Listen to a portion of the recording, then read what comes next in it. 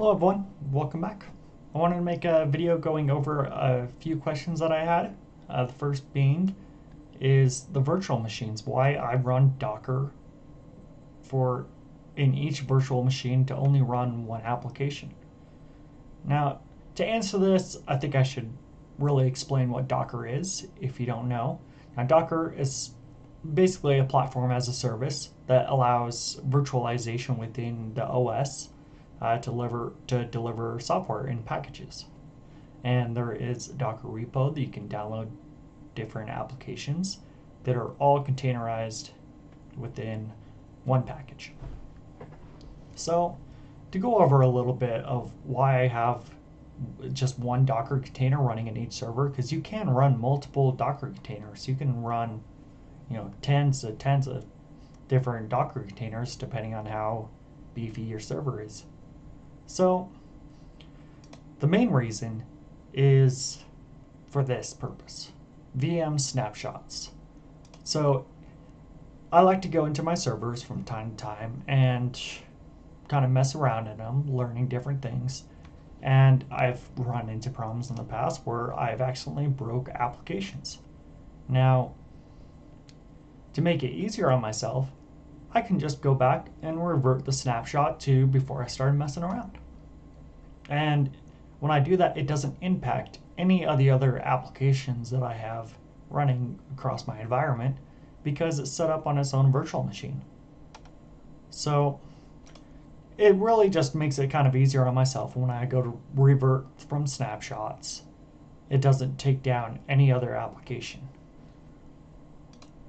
And there's kind of a, a good reason. I mean, I could just not mess around with the Docker, the, Docker containers, and that would be an easy solution. But we all like to learn, and we all make mistakes. That's what's make, what makes us human. So uh, I hope that answers the questions that I have within vSphere. Now, all of these servers, they run ESXi, and they are combined together with the vSphere client. And that also allows me to do vMotion migrations. It allows high availability and it has vSphere DRS, which basically alleviates the servers across the, the three servers that I'm running. So no server is running too many items. So if you look on here, most of these servers, they're pretty similar with the amount of CPU and memory that each of them are running and it keeps the environment stable. Now, moving over to Unraid. Now, Unraid, I do run a number of different Docker containers, but I do not run them in production. And the main reason for that is not having the ability for snapshots. Now, if Unraid had that ability, that would change everything. But as far as I know, it doesn't, and it also, as far as I'm aware, does not have any high availability options.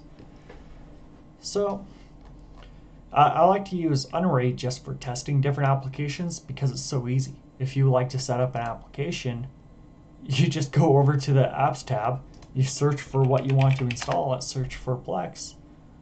And when you hit download, it just gives you a couple options you can enter in and hit apply and you're done. It makes it super quick. That's why I love testing different Docker containers within Unraid.